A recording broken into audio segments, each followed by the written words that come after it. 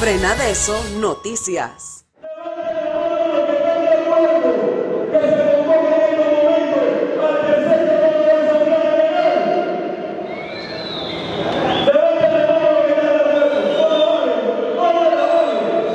Parece mentira. Después de un proceso que inició el 4 de julio, hoy 20 de agosto, concluimos con una jornada de trabajo arduo. Y aquí está. Los trabajadores llegaron, llegaron y llenaron el local Masivamente. Se, masivamente. Se calcula que arriba de 7 mil trabajadores llegaron a este, a este evento hoy día.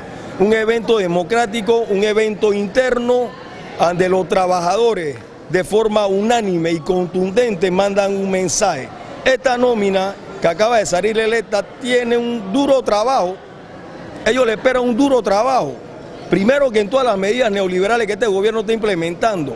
Y aparte de eso, tenemos que negociar en el 2021 la, con la CAPAT el nuevo convenio colectivo. Así que imagínate el trabajo que tiene esta junta directiva escogida hoy 20, pero me parece que llegamos al final y nos vamos conforme con el trabajo que hemos hecho, satisfechos por la cantidad de trabajadores que llegaron y una vez más agradecer a todos los trabajadores de la, de la construcción, especialmente a los miembros del Suntra, por venir a este evento que es de todos nosotros los que pertenecemos a este glorioso sindicato.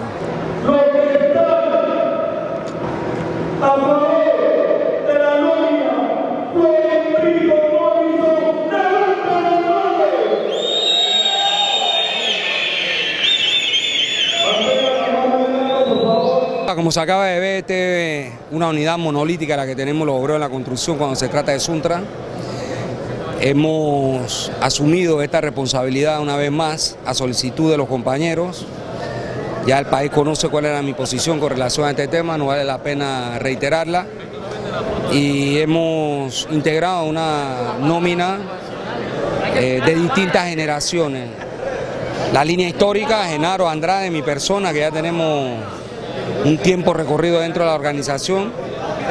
La dirigencia intermedia dentro de la directiva, que tiene otros periodos, son más jóvenes y se incorporan 10 nuevos jóvenes. Nosotros hemos propuesto la necesidad de transformar el Suntra, blindar el Suntra. Pensamos que este tipo de estructura deben convertirse en congresos de los trabajadores más conscientes, más sindicalizados, más clasistas, pero también para entender el problema que viene. ¿no? En, en dos años vamos a negociar con los empresarios de la CAPA el nuevo convenio. Hay que ver el problema de la reforma del Seguro Social que presenta el gobierno de Cortizo.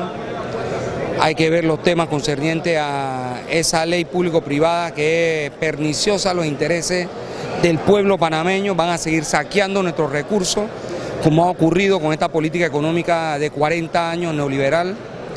El tema concerniente a la Constitución. Mañana se está convocando una acción frente a la Asamblea de Diputados por frenar eso. Ahí Suntra va a tener su cuota aparte, sin duda, y estamos listos, listos para seguir debatiendo con las ideas con organización, con capacidad y sin duda, pues junto a nuestro pueblo librar la, las batallas que correspondan librar en este periodo. y se para aquí como candidato a secretario general en la próxima vuelta, debe estar probado en la lucha, debe ser capaz de garantizar esa misma línea de pensamiento. La defensa de nuestros derechos de clase, la defensa de nuestros puestos de trabajo, la defensa de nuestras conquistas laborales en el convenio colectivo, la defensa la defensa de nuestros derechos como pueblo. Ese es nuestro norte y lo vamos a seguir